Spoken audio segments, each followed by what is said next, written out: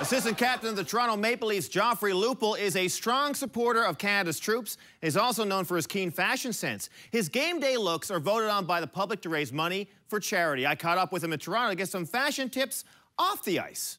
Everybody right now, of course, we're all thinking about our troops. They're uh, near and dear to our hearts. We want to rally around them. Tell me a bit about Lupe's troops. It's something that I've become really passionate about, and it's that um, the moment at the game where um, the troops stand up and are saluted by the crowd, and I think that's pretty special. My style is kind of hoser chic.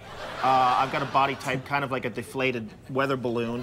What advice would you have for a Canadian uh, who wants to be fashionable but isn't a uh, multi-millionaire star hockey player who happened to be born gorgeous? Confidence is, is key, and, okay. and obviously, there you go, sit up straight. There, Will you help me pick out a suit that would fit me? Yeah, yeah. I, I, don't know if it's going to fit. I mean, they do have a good tailor here, but... Sounds good. Why are hockey players trendy now? Is this because Strombo is hosting Hockey Night now? Are they making him wear a tie, or no, does he no, get well, to wear his motorcycle jacket? Skinny jeans and, and skull rings, and uh, every interview is like about this close now. Oh, yeah.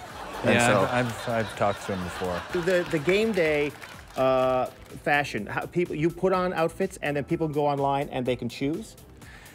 That's basically what happened. They can they can vote whether they like them or not. So it's like a one-man Tinder. It's a it's kind of a one-man Tinder, yeah. Um, what's in right now? Things have to fit good. We want them to fit a little bit slimmer, oh, but not to the point. I, it's not good. You don't That's like you don't like slim, do you?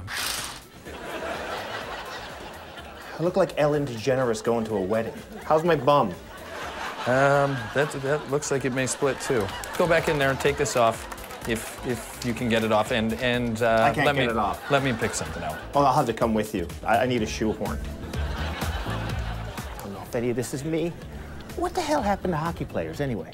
I, I, when I was growing up, hockey players all had mullets and no teeth, like an eye hanging out, just drenched in sweat and syphilis. Nobody was pretty and clean like you. How much are these? How much do you people make? I can't afford this. I work at the CBC. The most powerful man at the CBC is Don Cherry. He makes his own clothes. Try this on. Shoehorn. Recently, a couple of people have thrown jerseys on the ice. Does that tick you off? Does that get you mad? Um, well, first of all, it's stupid because they, had, I'm sure, had to pay for those They're jerseys. expensive. Yeah. And, and why is hockey the only place where it's okay to do that? Like, let's say if I was at Tim Hortons drive-thru and I got upset because they screwed up my double-double. I'm not going to go into the kitchen and just walk up and take off my jean jacket and go, you know what?